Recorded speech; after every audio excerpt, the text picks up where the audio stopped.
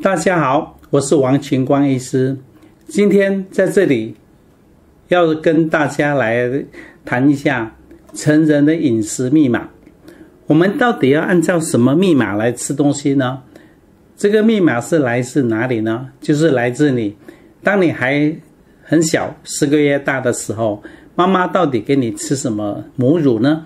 母乳的营养成分是什么样呢？如果我们能够按照妈妈告诉我们的母乳的秘方来吃的话，那么你就会很健康。我们这个单元分成分成三个部分：第一就是按照母乳脂肪酸的比例来吃油；第二就是按照母乳母奶乳糖比例来吃碳水化合物；第三就是按照母乳氨基酸比例来吃蛋白质。今天我们是要讲的是碳水化合物这一篇。我们看。这个上面的最上面一行，墨绿色的，这个碳水化合物母乳里面占总能量来源的百分之四十六，脂肪中间这个占百分之四十七，旁边这个蛋白质占百分之七。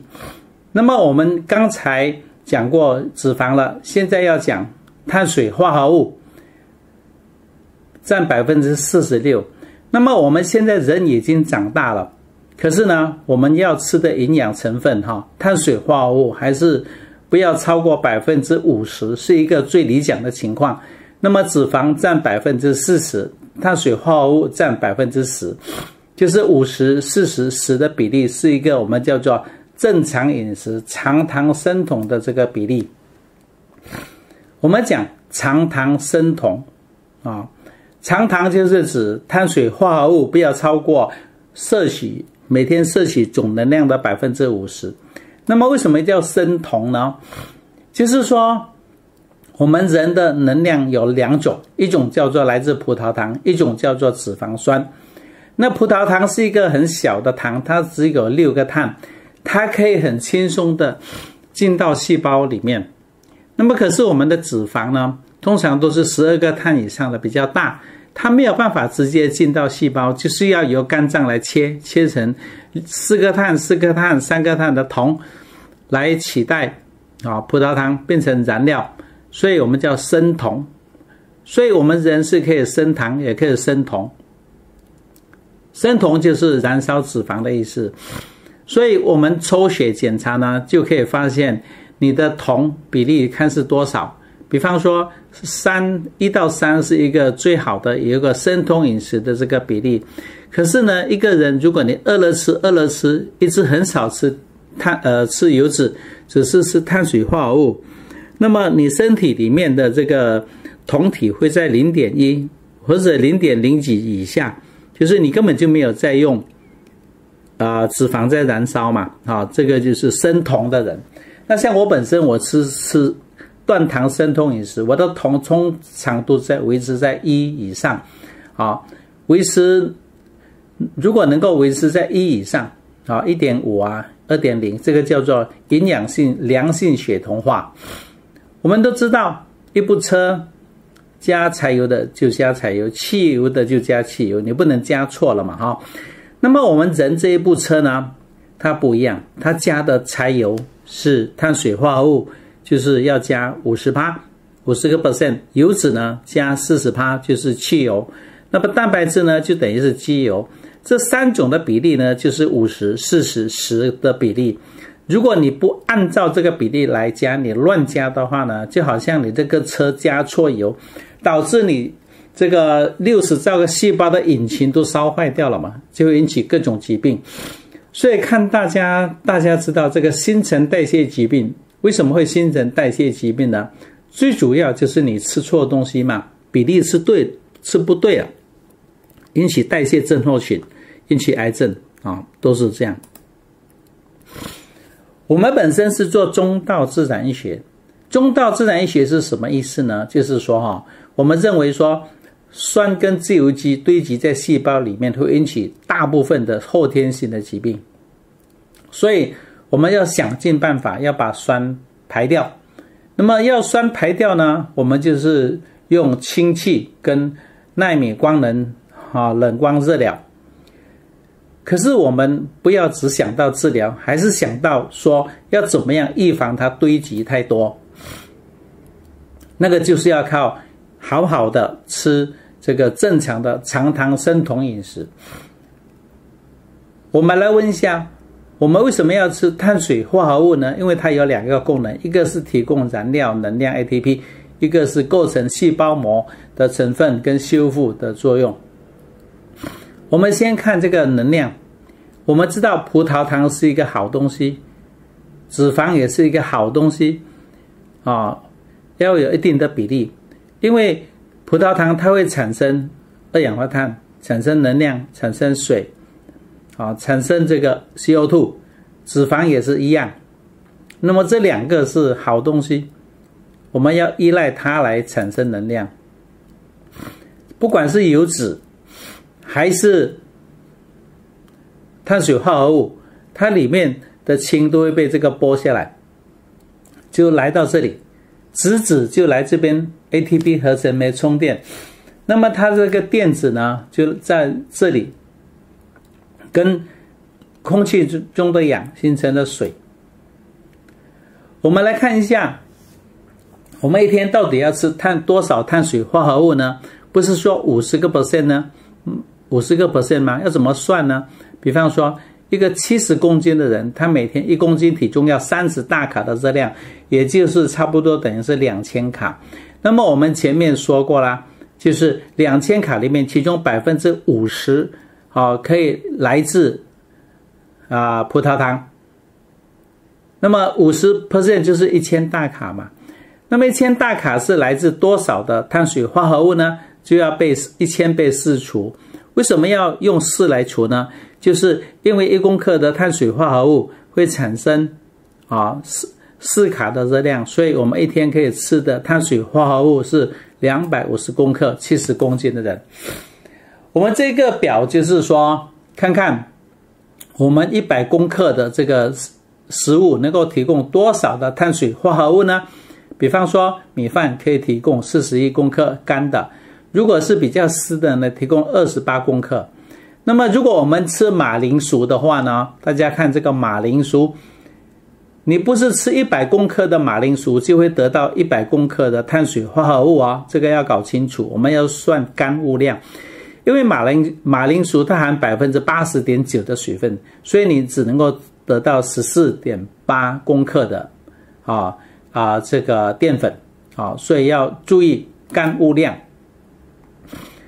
再来呢，第二点就是谈到说，碳水化合物也会成为变成这个细胞的一个一个组成的成分，尤其是碳葡萄糖，它只是单糖这个碳水化合物的一种。那么其他还有什么半乳糖啊、甘露糖、盐藻糖、木糖、乙烯葡萄糖胺、乙烯半乳糖胺、乙烯神经氨酸，这个一共八种。这个八种有什么用处呢？它就是细胞的天线。如果你这个八种这个叫做必须的这个单糖不够的话，那么你的天线哈就很少啊，细胞的天线就不够。那么如果你这个八种的这个呃必须的单糖都有的话，那那么你天线就会很好。这个就是蛋白质，好，这个蛋白质。那么它上面的这个就是。啊，多糖体，那那八种多糖体，如果你的这个多糖体很好的话，那么细胞就很好沟通咯，各种细胞之间就可以互相沟通。那么如果说他们这个多糖体不足的话呢，细胞沟通哈就会发生问题咯。比方说这个杀手细胞，癌的杀手细胞，它多糖体不够，那么它就无法辨认什么是癌细胞。好，常常就让癌细胞长大。还有就是，如果你的免疫细胞之间呢，它多糖体不够，它有时候会搞不清楚。它不但不打坏人，不对抗外来的这个异物过敏源，它还攻击你的身体，就会产生自体免疫疾病。好，这个就是多糖体不足的一个很呃会产生的一些疾病。接下来呢，我们就是要看看碳水化合物、淀粉、水果这些，如果吃过量，会引发葡萄糖、果糖的中毒。那么这个中毒的后遗症是什么呢？我们看，就是第一就是细胞内酸中毒、肥胖、脂肪肝、肝硬化、糖尿病，还有脑神经疾病，这个是非常严重的。啊，我们先来看这个脑呃细胞内酸中毒，因为葡萄糖它一个分子会产生啊三十八个 ATP，还有六个二氧化碳，三十八被六除等于六点三三。那么如果你是一个脂肪酸的话呢，它会一个十六个碳的中里酸，它会产生一百二十九个 ATP 跟十六个二氧化碳。那么一二九被十六除等于八点零六，所以烧脂肪酸的效率比烧这个葡萄糖好了百分之多了百分之二十七，所以我们这个比例一定要确呃要适当，不要过量，好不要过量依赖葡萄糖。那么产生吃了太多的葡萄糖呢，你身体就会产多产生很多的酸，加上你油脂吃的不够，你的那个呃细胞排泄的那个管道不好。啊，就会酸就会累积在身体里面。我们身体细胞里面的正常的酸碱值是应该要七点二，细胞外面是七点三五到七点四五的，啊，就是这个恒定的比例。我们人体所制造的废弃物呢，主要就是以酸跟自由基为代表，它一定要被完全排除出细胞里面，呃，细胞外面。这个是我们的肾脏。这个是输尿管，这个是膀胱。我们吃下的东西如果没有被吸收、被消化的话，它就会变成这个大便，那个只是浪费而已。那么你吃进来的东西呢，大部分都是要经过膀胱排泄出来，所以膀胱里面它会产生，身体会产生很多酸，所以我们的尿里面一定要有酸啊，正常是五点五以下才正常。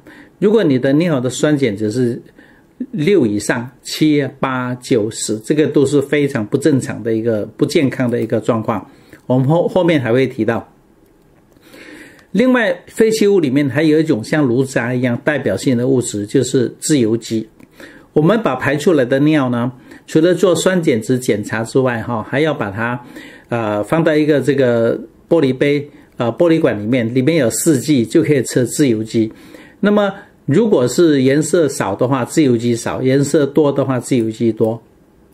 像这边有一个患者哈，他就是葡萄糖中毒，他的症状就是说，他一个礼拜要看三次急诊，血压都飙到两百多。结果他来给我看，我一看，我想哇，这个人一定是吃淀粉吃太多。我问他，你会不会米饭吃很多吗？他说很少。那面食呢？我也不大吃。那么水果呢？他说也吃很少。那我想怪了，怎么会这样呢？后来我说你最近有没有吃什么营养品？他说我最近哈每天啊朋友都送那个蜂蜜嘛哈，不吃白不吃，每天都吃了大概一百 CC 的原汁的蜂蜜。我想啊，糟糕，你一定是葡萄糖中毒了。我就开始叫他做断糖生酮饮食。当天呢，也叫他到一个保健馆去体验吸入这个氢气。他吸一吸，吸了两个小时，他的酸碱值就变了，酸就排出来了，同时自由基也排出来，自由基四变成九。大家看左下方这个四自由基本来没有的，变成排出来了，啊，酸也排出来了，八变成五点五。那么差不多半个月后，他再来，诶，他的酸有比较排了，好，后来降到六。还是一样，呃，酸七点五变六，自由基四变九，他到最后二十八号来，好，他就，呃，自由基有在自己排了，好，酸也比较酸了，可以排到五了。那这个就是我们一个很典型的案例。他在来我们这边的一个月里面呢，他从来没有再高血压过了，所以。我本身是认为说高血压这个病哈，绝对是不用吃药的，只要能够好好的调整饮食，几乎大概百分之九十九，除了一些要开刀的高血压以外哈，几乎都会好起来。所以断糖生酮饮食是用在某一些方面，他吃葡萄糖吃过多的时候要断一下糖，断了糖以后呢，慢慢再恢复，再恢复到低糖饮食。像这边有一个患者哈。他也才四十岁左右嘛，啊，他这个有忧郁症、偏头痛好几十年啊，安眠药吃了好几十年，脑雾，脑常常迷迷糊糊的，视力模糊，月入数十万，他都没有办法再工作了。你看他四月二十一号来，他的尿哈都是碱的，都排不出来啊。第二个四月二十三排不出来，到最后都排不出来，排不出来。我有叫他做生酮饮食，那到五月一号那天，我觉得不可思议，做生酮饮食怎么酸都不会排呢？尿还是疤呢？酸都没有排呢？那我就问他你有没有生酮饮食？他说有啊。他说他说我都没有吃淀粉啊。我说那你油一天吃多少？他说油我还没有吃啊，我们天只吃大量的肉啊。我的天啊，在我们最后一篇那个。碳水化合物那一篇就讲说，你吃肉，因为肉有百分之五十会变成淀粉啊，会变成葡萄糖啊。他吃肉等于就就是吃没有断糖嘛，还是吃很多糖。后来他开始断糖以后，隔了一个礼拜，你看他的酸就一直排排排排出来了。那么他从此就好起来了。我刚开始叫他断糖，断一段时间以后，慢慢可以恢复，好，慢慢的增加。糖的这个比例，也人我并不认为人要一直永远的这个断糖，啊，不见得有必要，可以吃低糖饮食。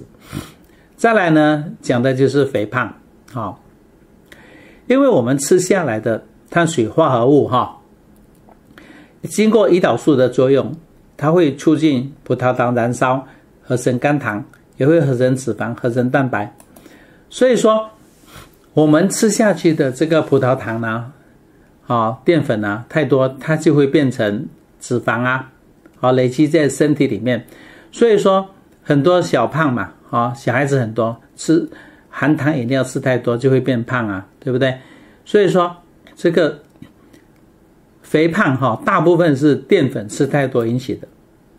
所以这个葡萄糖氨基酸啊，蛋白质会变成氨基酸，油脂会变成脂肪酸。淀粉呢，碳水化物会变成这个葡萄糖，葡萄糖又储存成肝糖，所以我们身体里面你吃的这个葡萄糖、氨基酸、脂肪酸，它这个之间是可以互换的。这三种呢，就是我们细胞里面的 Krebs cycle，我们这个等于这个发电机，三种都可以拿来发电。可是氨基酸比较少，它不是一个好的燃料，所以我们之间这个原料是可以互相转换的哈。当然，我们要最好是按照正常的比例吃。可是你某些部分不够的时候，它是会互相转换，是一个动态的平衡。所以我们要吃某些情况下要是断糖生酮饮食，某一个情况要是低糖饮食啊，这这个是一个啊要好好的来讨论的。再来就是说，果糖、葡萄糖吃太多会引起脂肪肝，尤其是果糖。果糖，你看它是一个五角形的，一二三四五啊。葡萄糖是六角形的。我们身体里面呢，没有一个细胞，包括脑细胞在里面，它都不代谢果糖的。所以说，像我们这个便利商店卖的这个果糖哈，事实上哈是应该危害我们人类不浅的，它是应该被禁止来贩售的。有很多国家就禁止这个果糖的这个贩卖，当然我们台湾明知未开嘛，哈，所以大家还觉得果糖还不错。这个葡萄糖呢，呃，蔗糖呢，它也是含一半的果糖，所以蔗糖也不是一个好东西。蔗糖不是一个好东西。我们前面讲的这个果糖哈，既然没有人喜欢它，那么谁会处理它呢？肝脏。肝脏不是拿来利用，肝脏是把这个坏东西变成一个脂肪，把它储存起来。所以，我们这个你淀粉吃的多，最后就一直一直让这个果糖啊，这个一一直分泌分泌哈啊，让这个胰岛素一直分泌。分泌的话呢，你这个葡萄糖啊多余的啊果糖多余的就会储存在肝脏里面，上面是正常的肝脏，下面是有脂肪肝。你的肝脏里面呢，就充满了脂肪。时间久了呢，会变成肝硬化。你看，这个肝硬化是这样。好，这个画的颜色呢，还比较红一点。以前我记得我在做外科的时候，有时候有些人在喝酒，他的肝几乎是黄色的。哦，我们这个叫猪肝色嘛，他的肝脏几乎黄到像那个，呃，一些一些那个金黄色的肝。那么一个人如果说是已经有脂肪肝，了要怎么办？可不能不能治疗？其实哈，一个最有效的方法就是清水断食。这个我都啊，请很多患者做过。就是说，当你完全不吃东西的时候，你的这个身体里面的这个呃，喝只喝水。啊，当然要看一些客观的条件，看你身体会不会出什么状况，要有医护人员的监督陪同之下，才能够做清水断食。哈，不要自己随便做。当你身体，你身体的葡萄糖的库存量哈，大概只有五百公克，你一天不吃东西哈，不吃淀粉，你的葡萄糖就用完了。用完了怎么办呢？你就开始会。你的身体就会开始用你的这个血液里面的酸酸钙饵酯，还有呃呃肝糖用完以后呢，就是用啊这个脂肪，脂肪一直用一直用。事实上哈，脂肪肝哈，大概在你清水断食七天以后哈，脂肪肝就会减少减少非常的多。还有之后呢，就吃一点断糖生酮饮食，完全不吃这个啊这个让脂肪全部代谢掉，不吃淀粉。然后呢，以后如果情况好了以后呢，慢慢再恢复吃一点点的这个低糖饮食。我们所谓长糖饮食是碳水化合物占能量的百分之五十，那么低糖的话呢，占百分之四十、三十、二十跟十都是叫做低糖生酮饮食。再来就是要谈到糖尿病，葡萄糖淀粉吃太多容易引起糖尿病。这个我们吃东西下来呢，食物里面它就会变成这个葡萄糖。好，葡萄糖呢，这个胰岛素好会分泌胰岛素出来。这个胰岛素就好像是一个钥匙，它插进去这个葡萄糖受体，然后就把这个葡萄糖通道打开。然后呢，我们身体哈啊，就身体这个葡萄糖就可以被利用。胰岛细胞里面它有四种细胞，叫阿尔法、贝塔、啊伽马、德尔塔。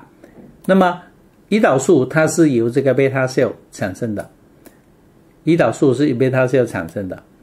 那么，好，这个另外一种呢，啊，这个细胞产生阿法 cell 产生 glucagon 升糖素，它跟胰岛素的作用刚好相反。那么，如果我们一直吃太多的这个淀粉，我们的这个葡萄糖升高，胰岛素也会一直升高，逼我们的这个胰岛素一直分泌、分泌、分泌，哈。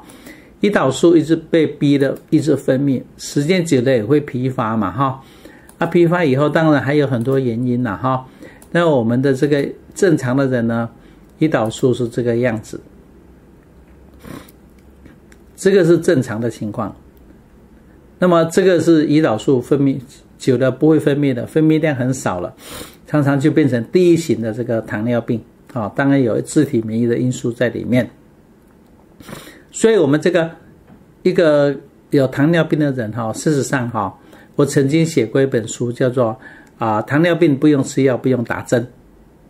那么，一个糖尿病的病人，如果他能够彻底断糖的话，基本上是绝对不用再吃胰岛吃这个呃降血糖的药的。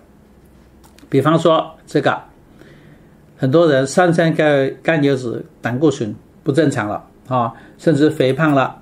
然后呢，哦，血糖高了，血糖高了，如果一直吃药的话，是没有办法避免后遗症的发生。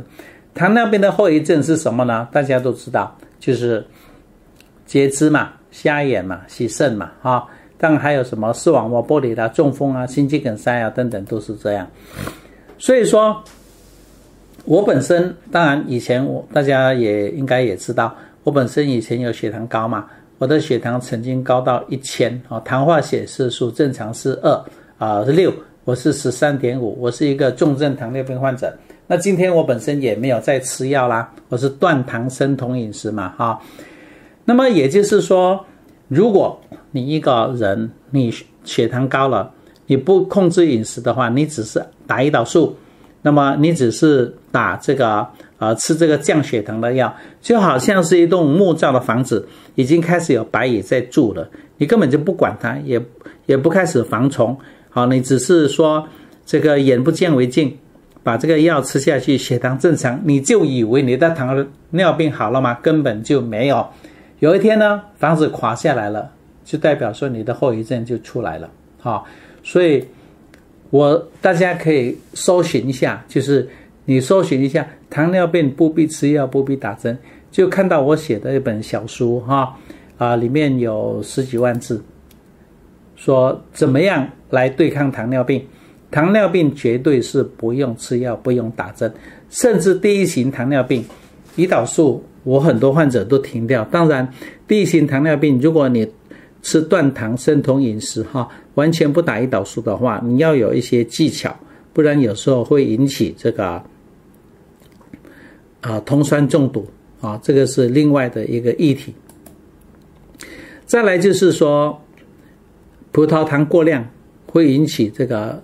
脑神经疾病，脑神经疾病是怎么引起的呢？第一就是脑细胞酸跟自由基过多，第二就是缺乏脂肪酸，第三就是过敏原进入脑里面，第四就是碳水化合物果糖，好蔗糖吃太多，脑神经对葡萄糖的代谢能力降低，还有就是啊脑神经过度利用葡萄糖，第六呢就是二氧化碳过高。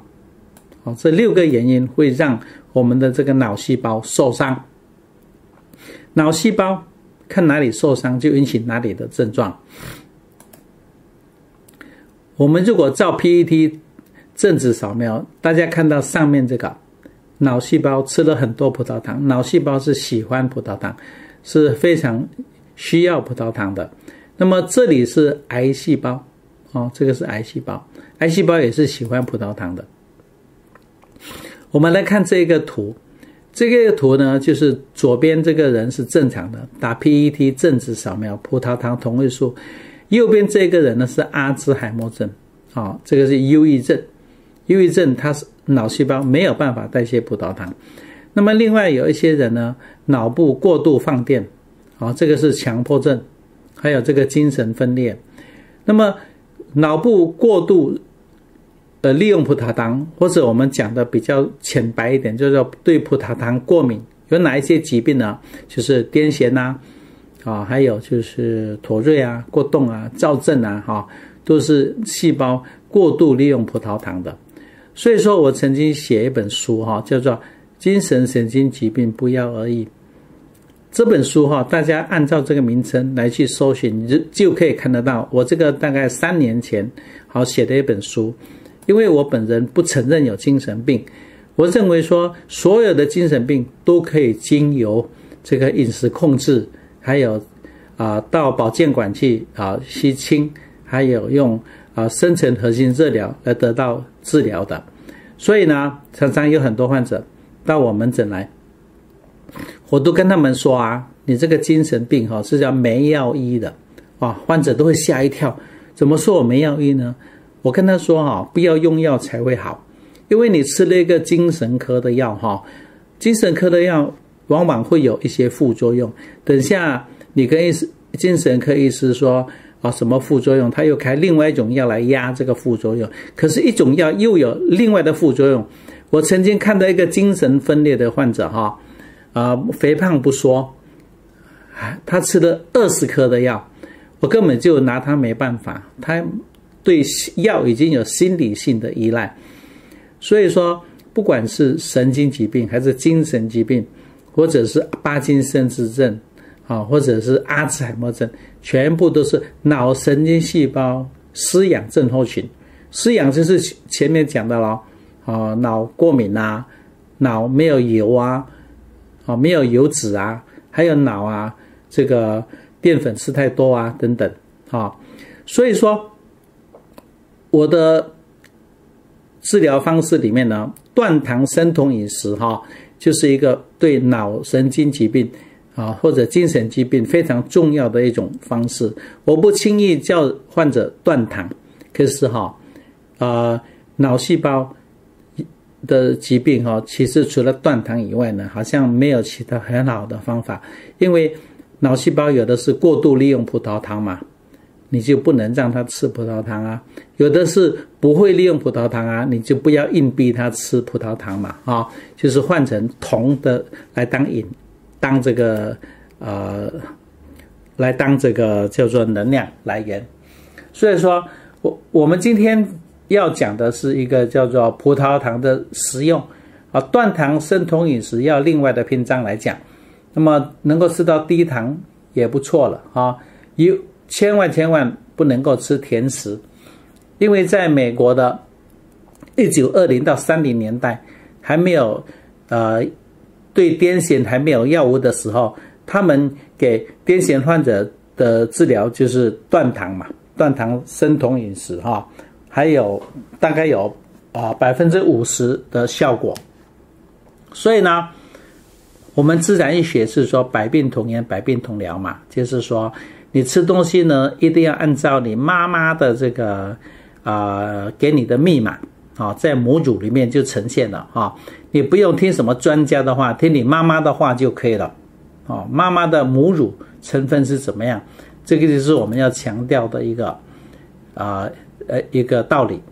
所以说上面呢讲的就是要按照母乳。